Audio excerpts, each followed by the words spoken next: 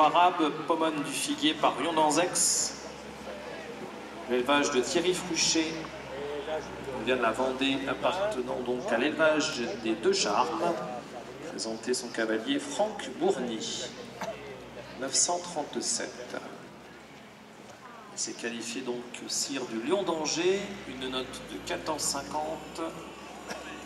696 euros de gain. Il réalise cette saison 10 parcours sans faute sur 14. Les notes de 8 dames du reverdi, 14 au dressage, 14 au style.